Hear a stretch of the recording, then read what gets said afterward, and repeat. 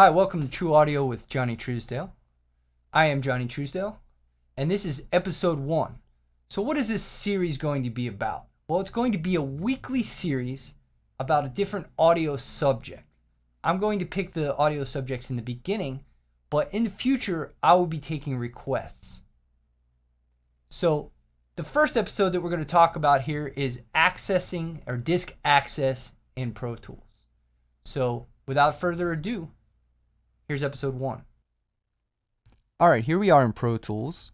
And uh, first, uh, we're going to take a look at uh, what we have in the session, and then I'm going to show you a few things to get better disk access, uh, disk usage, disk access activity. There's many things that we could call this. Basically, uh, Pro Tools talks to your disk where you're writing your audio and has to transfer uh, back and forth between the DAW itself and the disk that it's reading from. So if there's too much going on, it can have issues. It takes up a lot of memory, so forth and so on. Um, so anything in blue here is is an audio track, and uh, if we look over here in these numbers, you have one over here, and as we scroll down, we'll scroll down all the way down here to 76. We take out the one in the middle, which is our master track. That's not an audio track, and that gives us 75 tracks. So I know you say, Johnnie, well,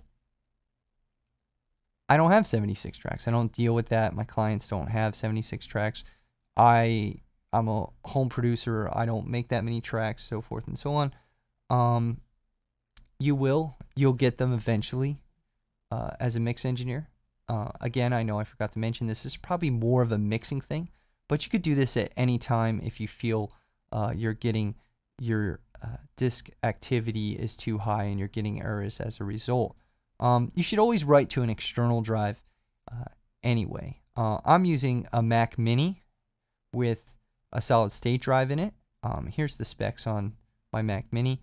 It's um, 2.6 Intel Core i7, 16 gigs of RAM. I'm using Pro Tools here uh, version 11.3.1. Okay, so this is what you're dealing with. This is what I'm dealing with here. I have an external hard drive.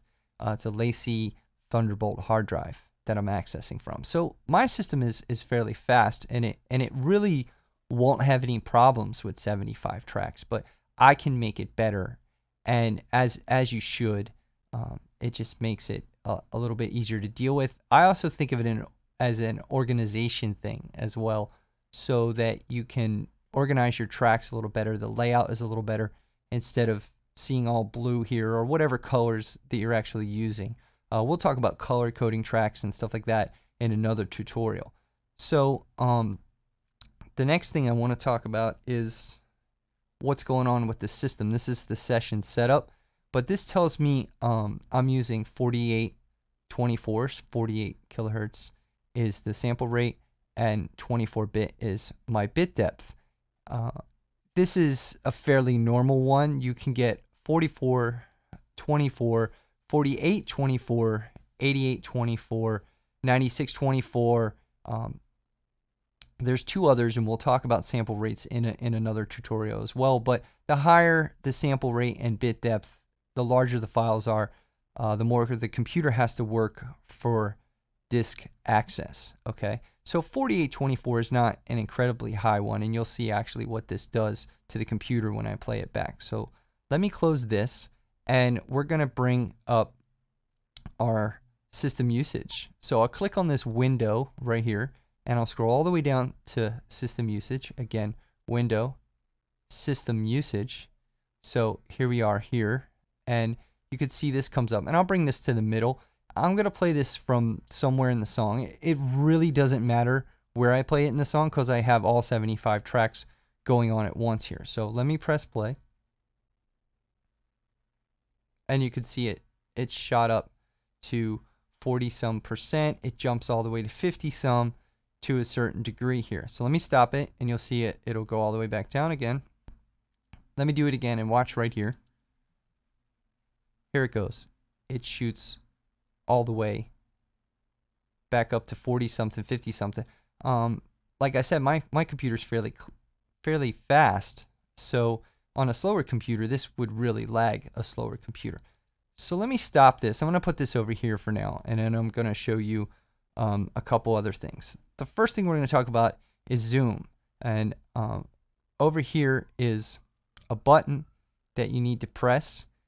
This is keyboard focus. In Pro Tools, it's keyboard focus. It enables you to use um, one key commands to, to achieve certain zoom settings that we're going to do and so forth. Okay. But the first thing I want to talk about is um, vertical zoom. And this is our default zoom. If we've zoomed out, um, this is the whole entire session. Okay. So there's nothing after it, just so you know. Um, I'm zoomed all the way out. I also like to uh, get my uh, track height at least at medium when I go through this. That way I can see everything that's going on. So I held down option, I click here and I go to medium. Now, um, as you can see, some of these are a little small. So focus on this area right here when I do ver vertical zoom. You could see this, I can see that there's audio there, but if I go all the way out, it looks like there's no audio at all. It looks like a straight line. I'm not seeing audio. I'm letting my eyes deceive me. And um, that's not good as an audio engineer to ever rely on your eyes entirely. You should always listen to stuff. Um, but if you zoom way in on the vertical zoom here, which is option command brackets, you can, it looks like a lot of this stuff is clipping because I got brick bricks over here um, but it's not. But this gives you an idea of where music isn't. Music is not playing right here at all. Um, if I press it right here, you'll see I'm not getting anything on the meters. Um, because I'm zoomed in, you can see that, and it's a uh, it's a little easier uh, to see. But always be careful and make sure that you're zoomed way in. Like I said, sometimes I'll zoom all the way in, or or really far, like I am right now, which is not quite all the way, but it's it's it's pretty far. Now, um, let me show you some of these shortcuts here. So I'll start on this top track here and I'll click about right here and I'll hit the letter A. And the letter A stands for trim clip to start of the cursor in Pro Tools. If we go to the end here and I hit S, that is trim clip to the end of the cursor. And then to get this part in the middle, I'll highlight from here to here and I'll press delete. Okay, so you could use strip silence, and we'll talk about strip silence in another tutorial, but I, I tend to just go through it like this. Um, one of the reasons uh, is it doesn't really take me that long to get through this, even though this is 75 tracks. It is not too terribly long to get through it. Um, and I tend to like to see all the edits that I'm making. It'll also make you a lot faster at editing. So it's actually good practice for editing in general. Okay, so I'll go through the rest of this here and I'll just generally go track by track to get this. Another thing, um, either be in a small grid mode, I'm in a small increment here, quarter notes, or be in slip to do this. Slip is generally the best to be in to do this. And you can have one hand on the mouse and the other hand on the keyboard as you're doing this and it makes it a lot quicker. Um, I'm talking and I'm not usually used to talking while I'm doing this, but it gives you an idea how fast you can get going once you really start doing this. Okay, so um, I'm going to time lapse this because I know you don't want to watch me do this entire entire thing, and you'll see uh, the difference here in the end. All right, here we are back again. And as you can see, I've edited all of these tracks all the way down through all of them. I got rid of a couple tracks because there was actually uh, no audio on those tracks. So that also helped as well. I got rid of some tracks we weren't using. So you can see there's large gaps where there's nothing playing at all in this song, which is going to save our speeds quite a bit here. So um, let's do a playback again from roughly the same spot that we did before.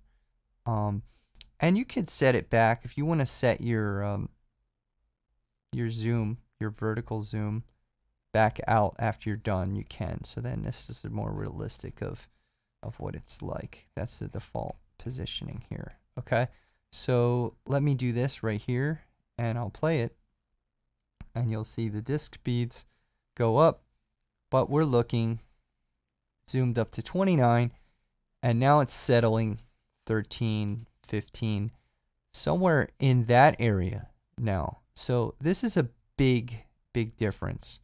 Um, it more than halved what we were doing for our disk activity, our disk access, our disk usage, so to speak. Um, so you could see this sort of thing is a simple thing that you can do, and you should do. It's definitely more organized looking as well. You can see where things start and end.